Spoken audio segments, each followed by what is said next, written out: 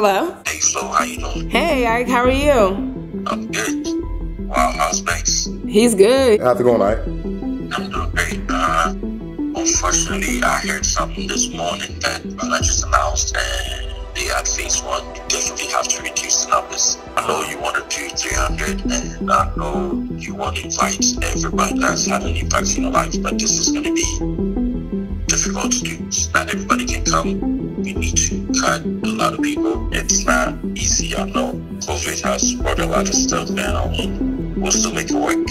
The good news is you still get married. It's going to be a wonderful day. You can have loved ones around you and make it through. Let's work with what we know, and that is doing 50%, which is currently the venue can sit about 350 or so, so we can do 150 at a venue. And we'll be doing six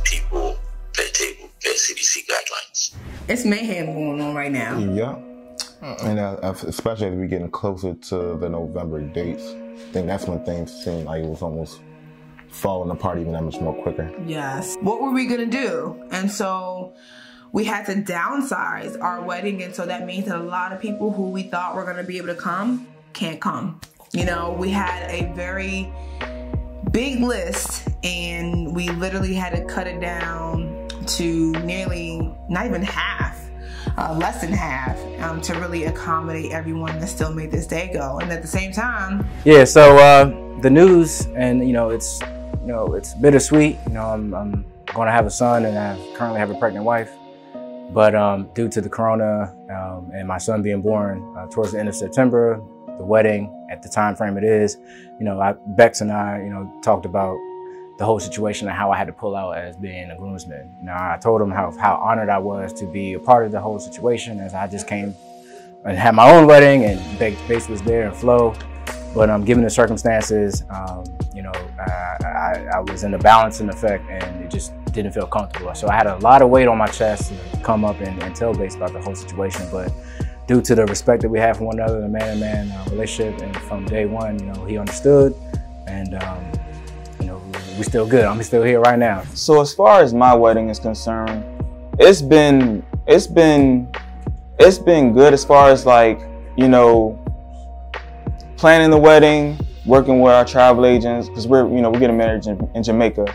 Um, honestly, it's the people that's a part that's invited to the wedding that's having a hard time. You know, you were notified a year ago and you still haven't gotten your passport. Now, we're in the midst of this, you know, pandemic. But, you know, not only that, you know, I have family members that are scared. I have family members, you know, elders that can't make it. I'm down to one grandparent now that's coming to my wedding. It's getting rough. It's definitely getting rough. Um, and we're afraid to reschedule because, you know, you never know what could happen. My fiance just lost her uncle a month ago. And we were just breaking bread two weeks prior. He was completely fine. So it's been, I'm not gonna lie, it's been, it's been a rough road right now. Um, but in, you know, in the midst of all of this, you know, I wouldn't miss you guys wedding for the world. I'm, I'm here. I'm, thank God that, you know, my, you know, I lost my father a year ago and right after he left me, he put me in a position where I'm blessed to be able to afford a wedding and come to yours at the same time. I had two groomsmen that actually had babies during during COVID, during this process of me leading up to getting married. Uh, one of my friends be a groomsman in, my, in, in the wedding as we thought he was going to because of that. Another friend, he was able to push through, and she, him and his wife actually both made. But uh, it was a lot of unknowns that were going on during this time. COVID is something that we're all experiencing for the first time all together. And uh, just understanding some people, the precautions that they wanted to take were, it varies from person to person. It's just being understanding of each person's situation, of what they have going on. I think that was the most important thing because definitely want to throw away a relationship over one day, uh, no matter even how important that day was. But uh, we were I, I was definitely appreciative, appreciative of the fact that we're able to have these conversations with enough time for me to do what I need to do on my end to make replacements and just continue to plan to move forward. It wasn't something that necessarily just held me back and I couldn't move move one way or another. So definitely appreciate Jaren for definitely having that man-to-man conversation with me and Shout out to Paul for pushing through. Shout out to his wife Ashley for allowing him and even showing up uh, to the wedding as well. So thank y'all. Man, it wouldn't have been. It really wouldn't have been what it was without without Paul. Without you, Paul, Absolutely. So we- appreciate you. Although there was a lot of variables that were outside of my control during the planning of the wedding, I couldn't allow the noise to distract me from the goal at hand. I still need to get myself suited and booted for the big day. So I asked a couple of the fellas for some assistance to help me pick out a few outfits to get me right.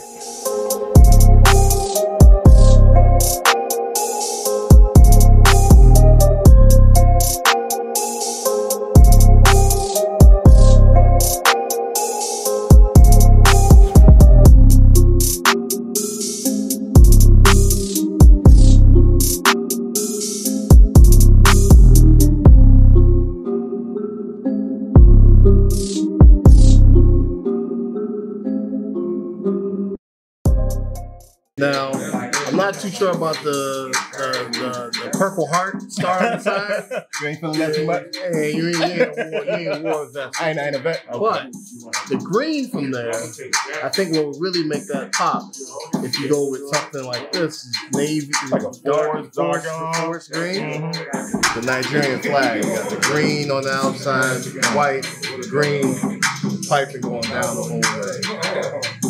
Now that's what. Yeah, so I'm, I'm messing with this purple joint because it got that blend of like that purple reddish and the blue. Uh, the white trim is, is cool. That'll pop. Now the pennant, the top pennant they got, I like that. but The other one, I think that's like a B. I might change that one out. Right. So I might change that out to something. Else. Are you a bow tie brother for your, for your I am a bow tie brother. I mean, her dress is white over there. her dress? Yeah, her dress is white. Yeah. So it's a good translate with uh, You know what I'm saying? Now, this right here, he like Pinky from uh, Friday.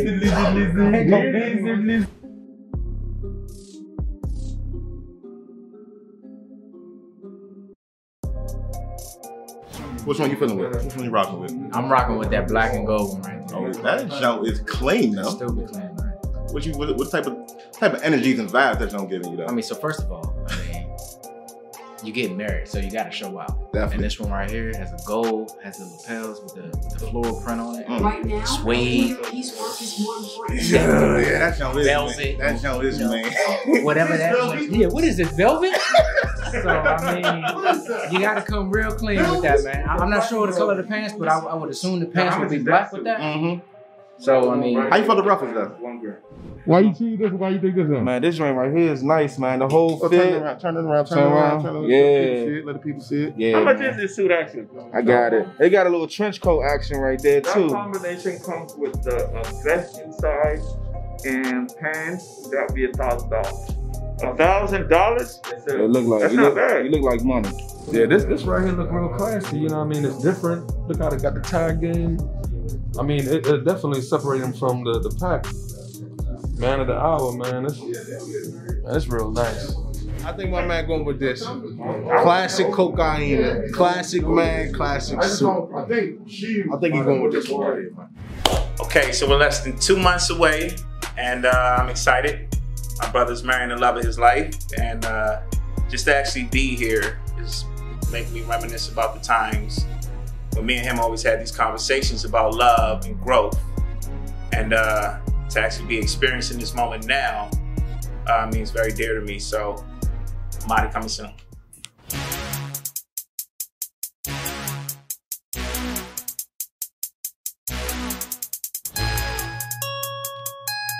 How you feeling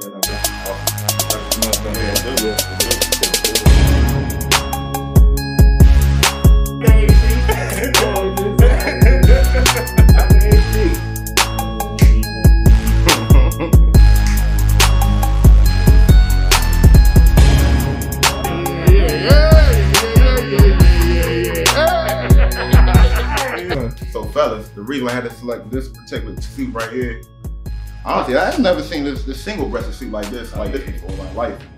And uh, I definitely knew myself whenever I was gonna go out, I knew I was going out flat. so you know what I mean? So Alright, alright. that's- that's something that I, always- I always knew about myself. And he definitely has endless flavors in here, a lot of different flavors. At that time, some of these flavors you see weren't in here at the time. So I think maybe if I were to do it again, I might see choose them different, but even still, I love the way this thing right here. Yes, sir. Look, I know ain't nobody, ain't nobody gonna say they got married to something like this. Yes, sir. You know what I mean? So we, we, we doing it different. So. Let's go. Never seen nobody get married. Stamp of approval. Rock with me though. Hey!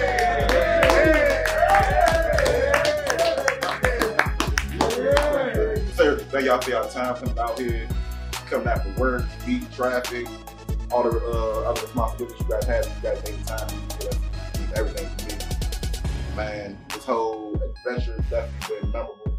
Shared a lot of different memories, a lot of, a lot of life experiences. Man, I just can't thank each and every one of y'all for being here with me. And uh, man, Amadi coming soon, Amadi at last. Yeah, I'm serious. I have no idea what we got planned for y'all. Y'all don't know. We just scratching the surface, sir. So uh, a lot of more surprises to come. Love y'all. Thank you. Thank you, brother.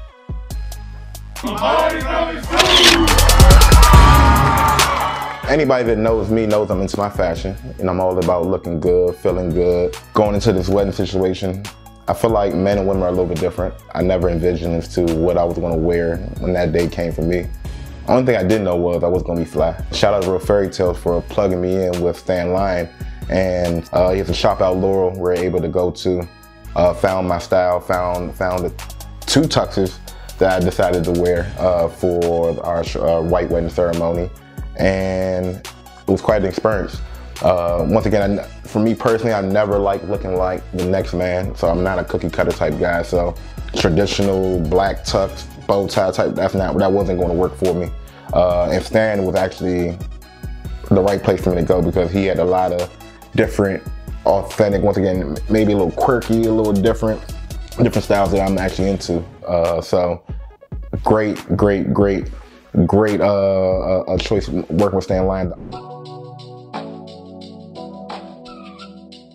All right, now I'm calling last bridesmaids. Ace is here. We're waiting for her arrival.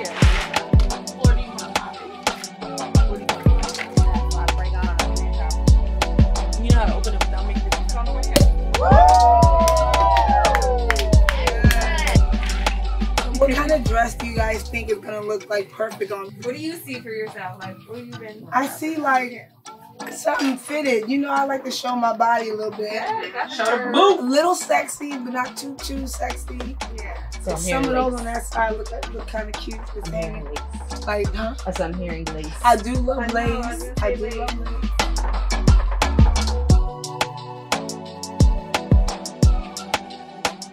So, ladies, we're here to watch our Miss go from Miss to Mrs. Mrs. Amadi. We're so excited for you. You're so beautiful. You make a beautiful bride. You'll make a beautiful wife. And uh, we can't wait to see the little Amadi. Oh I my can't. Cheers! From the sleekest, most fittest mermaids all the way up to the most poofiest ball gowns, and they all range by designer. So please look around. Every inch of this place is covered in the gorgeous dress. Why? Why? Is it, is that a wall? So it is two strap, but it's got like a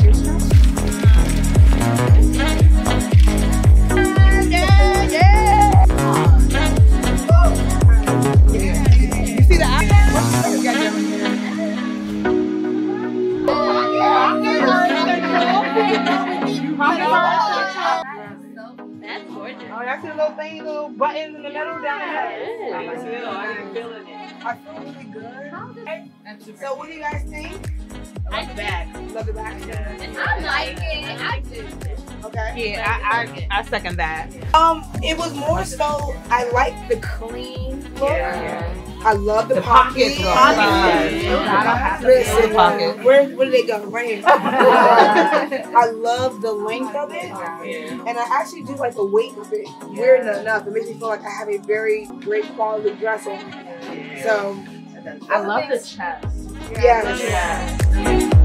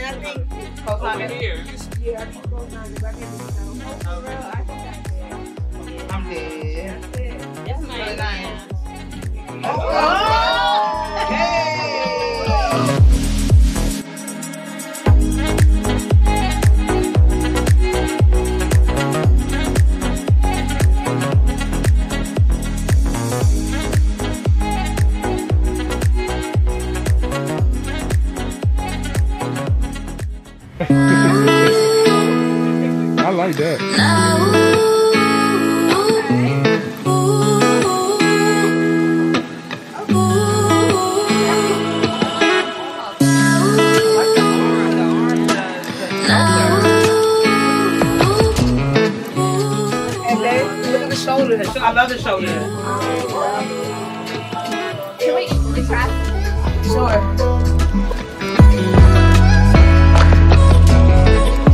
It's giving me sexy, which I like. I can see my boobs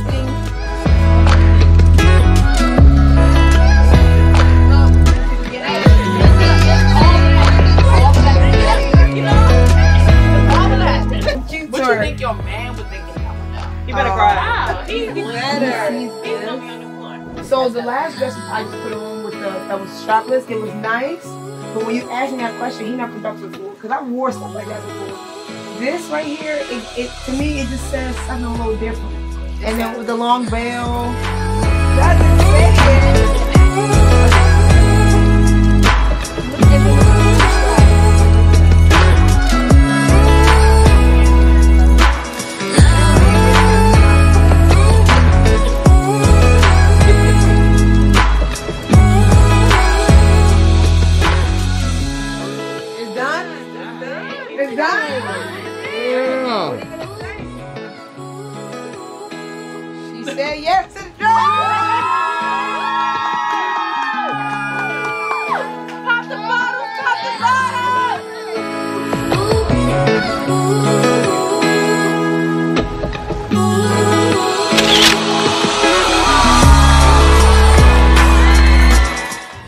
say yes to the dress, I unfortunately wasn't able to make it, which I'm so sad about because I had to go that day because I live in Arizona, but I love AC so much I come back for her all times, always. But anyway, um, from what I saw from it, it looked amazing. I think that the the my favorite part about kind of catching up in our chat with our bridesmaids about you know how AC felt was just knowing that when she put her dress on, it was it. You know what I mean? It was something that she felt beautiful in, and I think that as a bride and kind of just going through everything that the bride goes through that I obviously don't even understand, um, but just having that moment that you can enjoy, especially with um, all of your bridesmaids and family being there for that moment for you. That's what I really liked. I did this in a very non-traditional way, and and, and honestly, you got to do what you feel like you want to do. I'm gonna keep it real. So when I first did my say yes to the dress, I actually originally went with my mom and my uncle. And I did that because I wanted to be sure that I was going to look beautiful. And my mom has always been that one person in my life that's always been so constant that will tell me if it's good, bad, ugly. And her opinion means a lot to me. I needed for her to approve this dress. And so I took her with me. Um, and my wedding planners were actually there at that visit as well. My wedding planners are who actually told us where to go.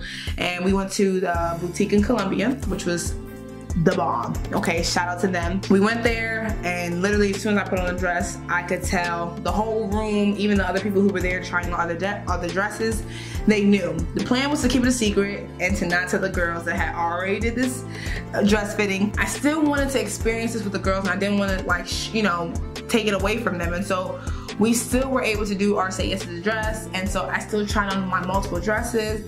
And when we got down to the last one, they loved it. It was the one. Next time on Amadi coming soon. Hello. Hey guys, how you doing? Hey, Ike, how are you? Is Beks with you? Yeah. Yeah, he's right here. What's up, Mike? What's going on? I just found out Montgomery County just reduced their discount to like 25 people per venue. I know we already sent out invitations and everything, so This is we need to horrible. find something. We're gonna probably have to work out. How? Oh my goodness.